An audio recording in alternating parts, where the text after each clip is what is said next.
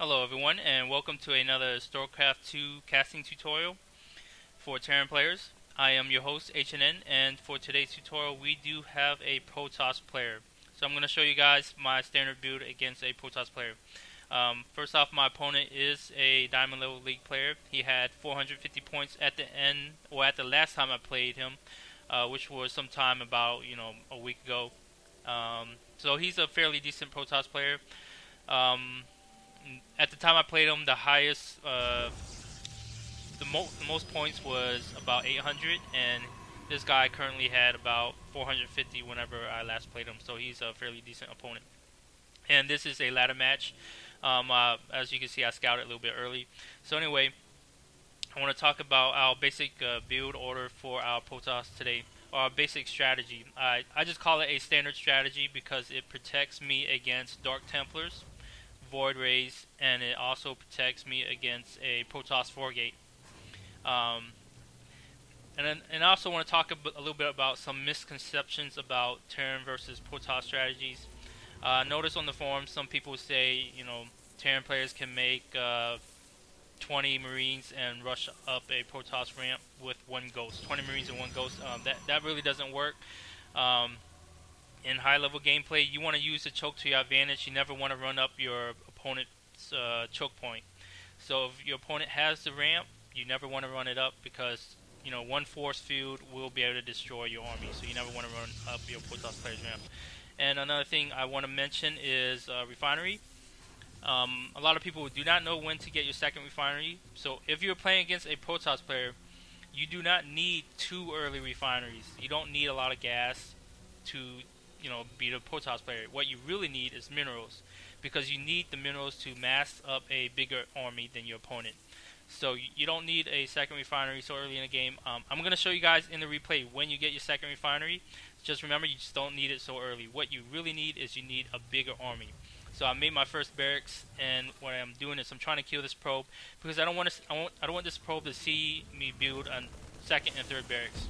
I want them to think, you know, I might be able to do a I might be doing like a one one, the famous one one one build where you make one barracks factory and a starport. Um, I don't like to do that build. Uh, I feel this build is actually safer and it actually protects you against a Protoss 4 gate. So what we are doing is we made one supply depot and we're going to make two, actually three barracks. And then we're going to pump out as much men as possible and we're going to upgrade every single thing for our Marines and Marauders. Upgrade everything. So in here, we're going to upgrade the stim, we're going to upgrade the combat chutes, and we're going to upgrade uh, the shells from Marauders. Um, now, I changed this build a little bit uh, more uh, earlier because this is one of my earlier builds, but I changed the build a little bit more. I'm going to show you guys in more another video. But I want to, I just want to mention that you want to get an early Marauder because a lot of Protoss players like to stick one or two stalkers up here and zap as many marines as possible. Run back, recharge the chutes, come back and zap some more marines. Um, so what you really need is you want one early marauder, and then you want to stop out pumping, stop pumping out marines to defend against a void ray rush or anything of that nature. So anyway, I got my third barracks going down, and as you notice, I do not have a second refinery because we need the minerals. If you look at my mineral count at the top right hand corner of the screen, my, my mineral count is very low because I am constantly pumping out uh, Marines and Marauders. Uh, early game, you want to pump out more Marines than you want Marauders, you know, to defend against your Void Ray Rush. And there's nothing wrong with pumping out Marines from a barracks connected to a tech lab. So go ahead and do it. Um, you're going to need it.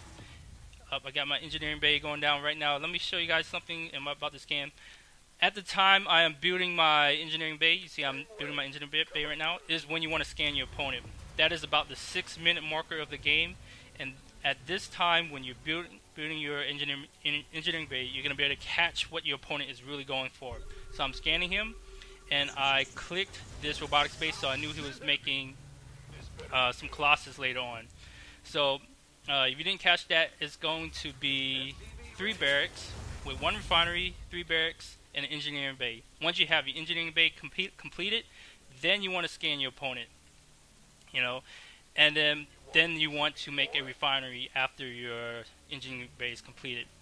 So um, for my counter on when to make my second refinery, I, I click on my SCVs on the mineral line, and as you can see right here, when when my mouse is with this um, on this SCV is when I want to start building my second refinery. Haven't started yet, but I will start it soon. And if, if you've noticed, uh, I'm clicking on my tech labs. You see I have one upgrade in each tech lab. It's because I am upgrading every single thing possible for our Marines and Marauders. And I have my second refinery going down, if you didn't notice. Okay, I also wanted to mention, uh, uh, should have mentioned a little bit earlier when I was talking about my engineering bay. I saw my opponent going for Colossus. You know, a lot of people think you need uh, Vikings to defend against Colossus. Absolutely not. All you need is an engineering bay. And because you have engineering bay, you can make your turret. Your turret will defend against Colossus, and it will defend against Dark Templars. So going for an early turret will, when you get engineering bay is much more viable than going for a uh, starport.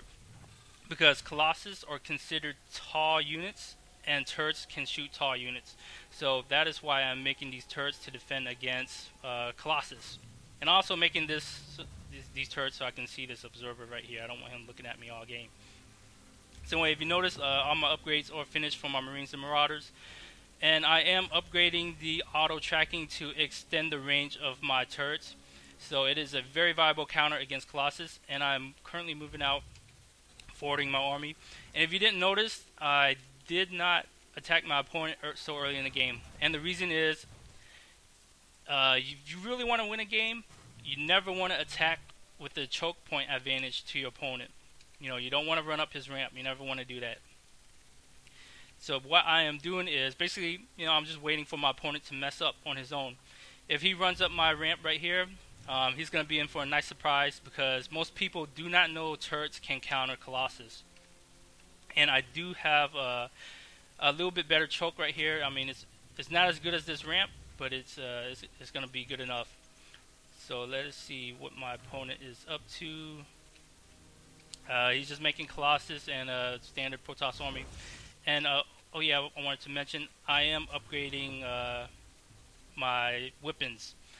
Uh, if you have the same army count as your opponent, especially a Protoss player, and you have that one single upgrade, you will be able to defeat your opponent. Even if he has Colossus, you will able be able to defeat your opponent with more, uh, about at least 25% of your army left over if you can defeat your opponent with uh, if you have that one upgrade. And a lot of people don't realize that, but that one upgrade means a world of difference. I I like to upgrade both of them even before I get my starport because uh, it, it, it, makes a very big deal, and I've beat many, I defeated many Protoss players with just a single upgrade. So it looks like he is moving out, and I'm gonna about to show you guys how well turrets can defend against these Colossus. So if you notice, I'm not moving out attacking him. I'm waiting for him to come up my ramp right here because he's gonna have a bad choke, and I am fighting around my turrets. Let's see how it goes.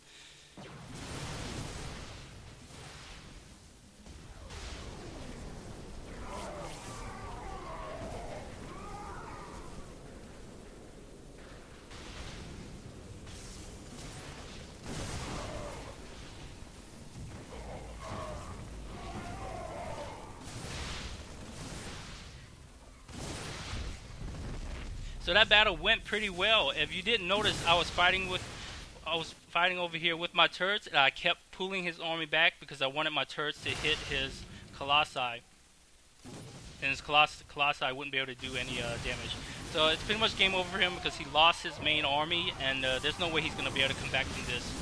So anyway, let's go back to our basic build order.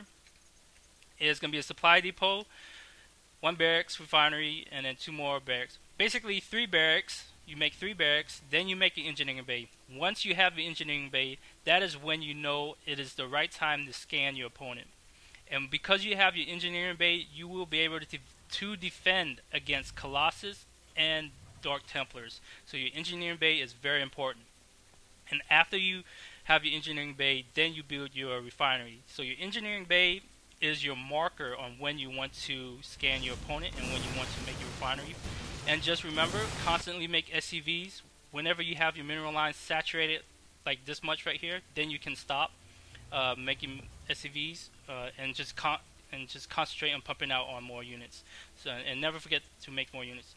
So anyway, I hope this replay helped you guys out, and um, you know, this this was a very short replay. I'm gonna show you guys, explain a little bit more about this replay in uh, another video. I mean, explain a little bit more about this strategy in my uh, in in the next video. So anyway, uh, this is HNN signing out, and I hope you guys enjoyed it.